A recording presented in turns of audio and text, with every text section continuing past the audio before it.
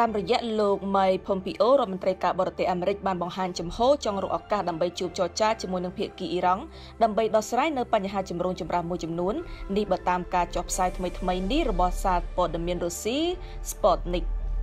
សេចក្តីថ្លែងការណ៍របស់លោក Mike Pompeo បានបញ្ជាក់ថាអាមេរិកចង់ជជែកជាមួយនឹងប្រធានាធិបតីអ៊ីរ៉ង់លោក Hassan Rouhani ក្នុងគោលបំណងបញ្ចប់នៅបញ្ហាមួយចំនួនម្យ៉ាងទៀតការដែលអាមេរិកបញ្ជូនកងទ័ពទៅកាន់មជ្ឈមបូព៌ាគឺគ្មានបំណងចង់ផ្ដួលរលំរដ្ឋាភិបាលអ៊ីរ៉ង់នោះទេ